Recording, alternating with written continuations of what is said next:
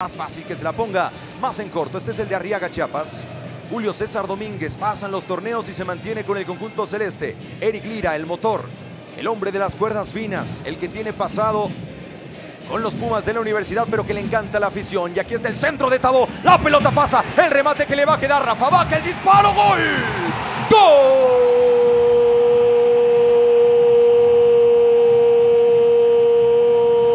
¡De la máquina! ¡Gol AT&T!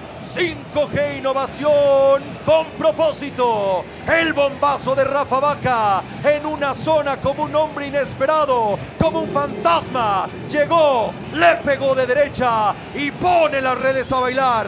Lo está haciendo el 22, el de Tuxpan, Michoacán, con determinación criticado por mucha afición, pero entregado a los colores y a la causa celeste, pone arriba a la máquina cementeria y es un gol. Un gol por la nutrición, un gol que beneficia a 50 niños de 0 a 5 años con paquetes de nutrición y desarrollo. Gracias a GNP Seguros, Fundación Televisa y TUDN, pegó primero la máquina. Golazo de Rafa Vaca, Tito Villa. Decíamos que Romero estaba jugando unos metritos más atrás de lo esperado. De ahí nace todo porque le mete una pelota muy fina, muy inteligente a, a Tabó, que hace una carrera, hace un esfuerzo formidable para que el, el, esférico no abandone el terreno de juego.